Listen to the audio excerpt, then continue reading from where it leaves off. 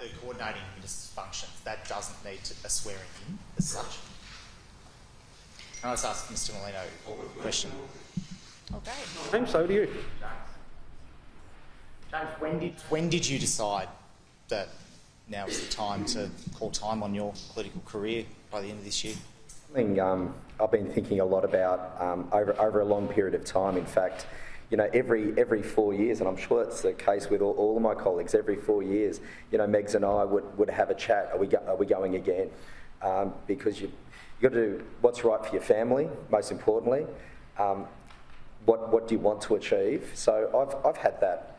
Uh, I've had those thoughts and those discussions every every step of the way through my through my career. Um, but over the last six to 12 months, I've been thinking more and more about it. And someone wise once said to me, uh, when you come into politics, think of how you want to leave politics. Um, and that stuck with me. That was a comment that was made more than, uh, more than 20 years ago. Um, I just knew in my heart um, I don't have the fuel in the tank for another term. I've certainly got the fuel in the tank uh, for the contest in November. Um, so it's over the, over the last six or 12 months.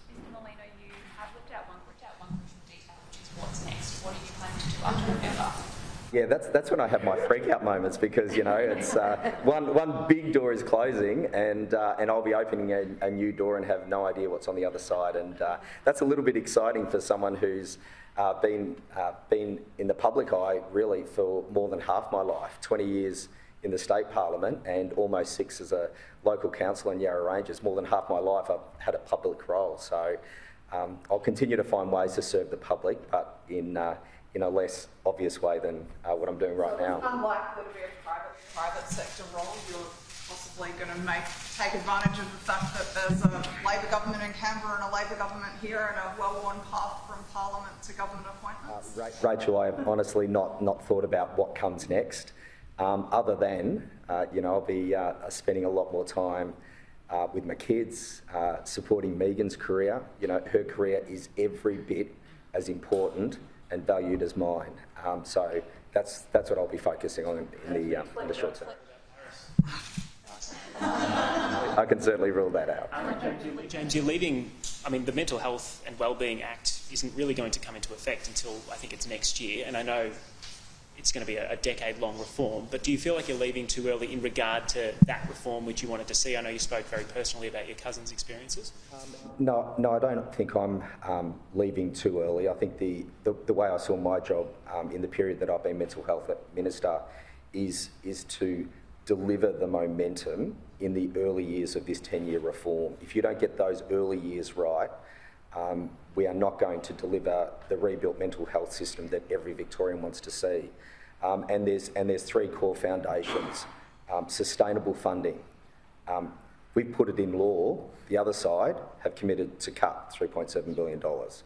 Um, the legislative framework, I was just so proud to deliver uh, that bill this week. Um, and then thirdly, and most importantly, the workforce. There is no reform if you don't have a pipeline of mental health professionals, and we've funded and delivered two and a half thousand over the next few years.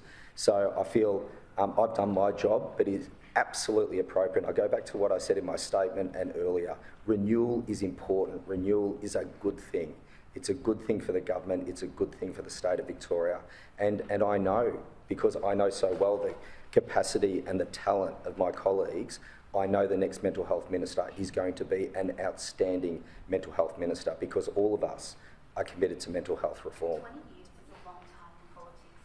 And your statement alludes to all of the things that you've missed out on over the years, particularly with your family.